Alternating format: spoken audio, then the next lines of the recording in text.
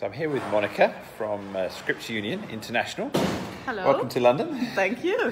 And uh, we were just discussing about how uh, CCI and uh, Scripture Union have worked together and can work together. Tell us a little bit about what you do in Scripture Union. Oh, in Scripture Union, we um, try to connect children and young people with God through the Bible. That's mainly what we are doing, and through creative things like camps and all kinds of other um, uh, creative um, uh, opportunities. But it's really about helping children and young people meet God. And camps is a part of Scripture Union. Absolutely, yeah. A And great part. You're linked with CCI in different places around the world. Yeah. How, how many countries are you in?